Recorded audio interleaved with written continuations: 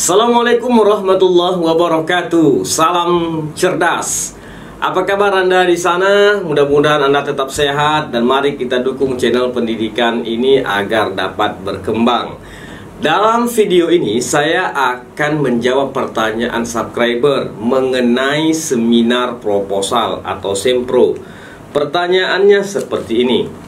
Pak, Mohon dijelaskan dengan rinci mengenai isi dari presentasi yang dibuat untuk Sempro. Hal apa yang perlu dan tidak perlu dimasukkan dalam presentasi tersebut. Terima kasih. Nah, ini adalah pertanyaan yang baik sekali bagi mahasiswa yang akan menghadapi seminar proposal, ya.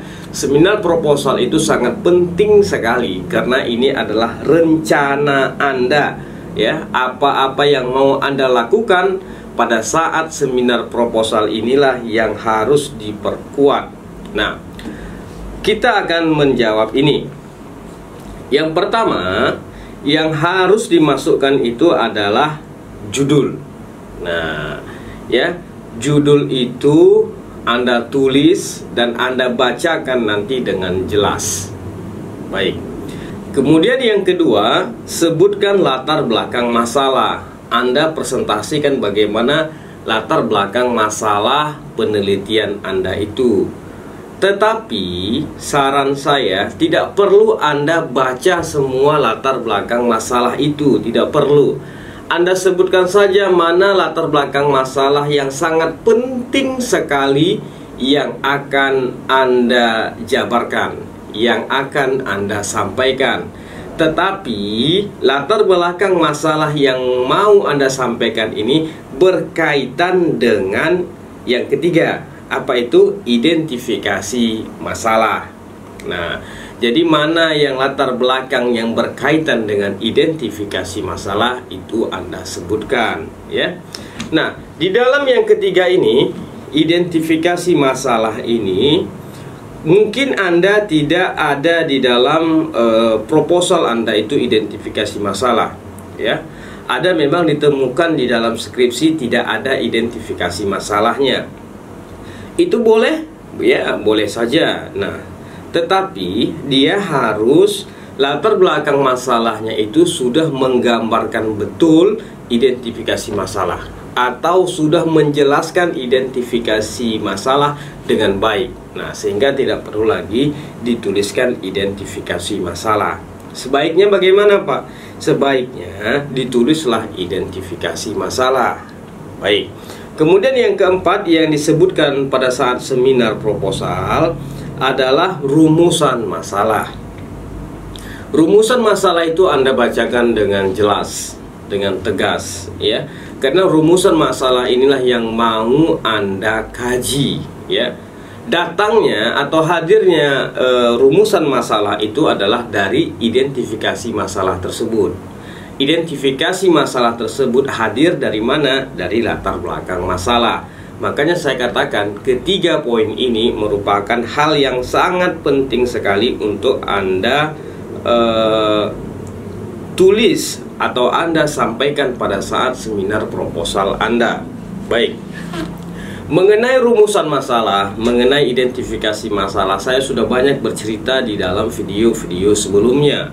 Nah, tetapi di dalam seminar proposal Anda itu ini harus bahkan wajib sekali saya pikir untuk Anda sampaikan, ya. Karena dari sinilah Anda akan e, mencoba untuk meyakinkan dosen penguji Anda bahwasanya penelitian Anda ini benar-benar ada masalah yang mau diteliti.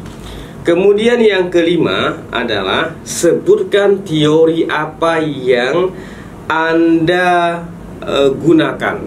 Ya, teori apa yang akan Anda pakai di dalam penelitian Anda itu.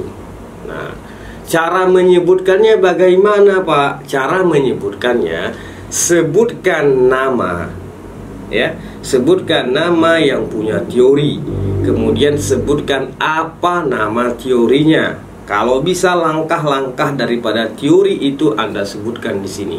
Kalau Anda sudah mampu menyebutkan sampai ke langkah-langkahnya, saya pikir Anda sudah mendapatkan pujian yang begitu besar dari dosen penguji Anda. Saya yakin ini judul proposal Anda ini akan disetujui nih ya akan senang dosen penguji Anda kalau Anda sudah menguasai langkah-langkah e, daripada teori yang akan Anda gunakan di dalam penelitian Anda itu. Kemudian jangan lupa.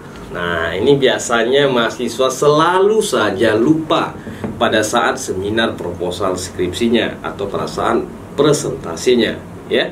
Saya nggak tahu nih, lupa memang betul-betul lupa atau dikarenakan sudah sesak sekali nafasnya pada saat seminar uh, proposal itu.